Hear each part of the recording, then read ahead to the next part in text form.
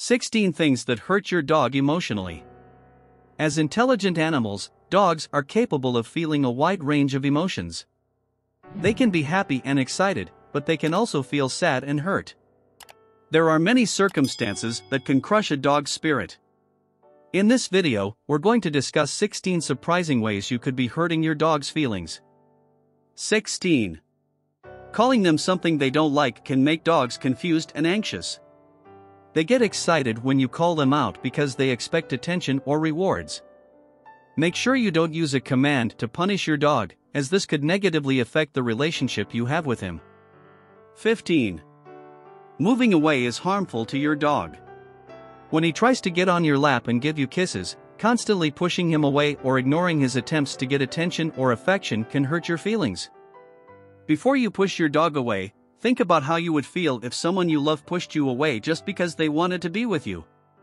Remember that by constantly ignoring your pet, you are not only depriving them of affection, you are also going against their nature.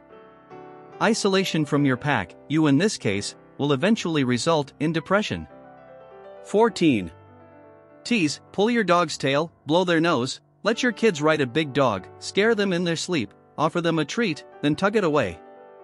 These behaviors confuse and agitate your dog. Moving a plate of food around while they eat, pretending to throw the ball and then hiding it behind their back, and playing keep away without ever letting the dog have the toy is not fun for your pet. Remember, what's fun for you isn't always fun for your dog. It's better to look for other ways to have fun with your pet. 13.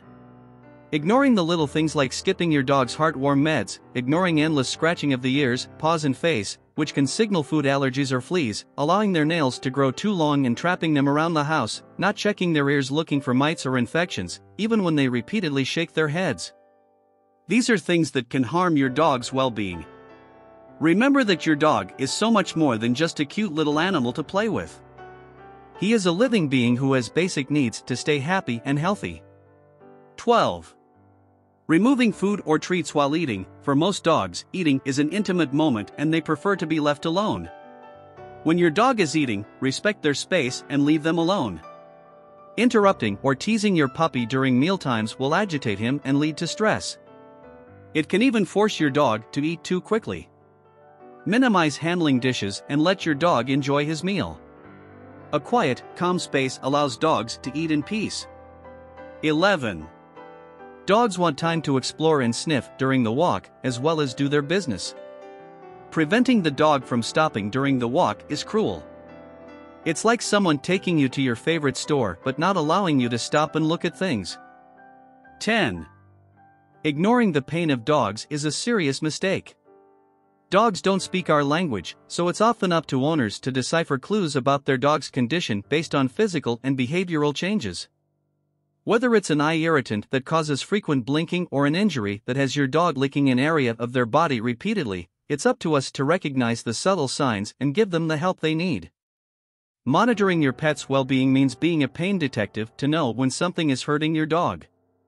9.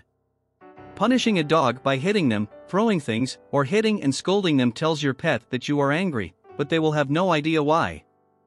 Rubbing their nose in their pee or poop when they've had an accident will leave them petrified and confusedly angry. It doesn't teach your dog to behave, it simply teaches you to be afraid of you. Punishing your dog breaks the bond between you and your pet, leads to hurt feelings, anxiety, and a lack of trust. One of a dog's basic needs is to feel safe and secure in his home. 8. Not providing mental stimulation is harmful for your dog. A bored dog is an unhappy dog. Humans have many options for entertainment, but your dog is limited by the environment he lives in and the entertainment you provide. This means that it is the owner's responsibility to provide mental stimulation for their dog. Try walking your dog more often or offering interactive toys that will keep him busy while you're away from home. Consider enrolling your dog in dog daycare and make sure he has access to a window to see what's going on outside. 7. Being left out when friends come to visit dogs are very social animals. Keeping them in the yard and ignoring them when your friends come over is like solitary confinement for your dog and leads to heartache and anxiety. By letting them out while your guests are there, your pet will have a chance to bond with their friends and will also learn to get along better with new people. 6. Force them into a situation they don't like. Dogs can have specific fears about the strangest things, they can be afraid of thunder, skateboards, fireworks, vacuum cleaners, or even dominant dogs at the dog park.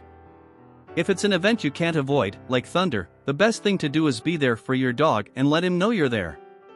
The worst you can do is make fun of their fears. 5. Not providing enough time to play is a mistake. Patting your dog on the head half heartedly as you walk through the door with an armful of groceries isn't going to cut it. It's important to set aside dedicated time one on one, no matter how busy your life is. Prioritize time to do something your dog enjoys, whether that's 20 minutes for a nice nighttime walk or just a cuddle time on the couch. A dog's level of happiness depends on the attention he receives from his favorite humans. 4.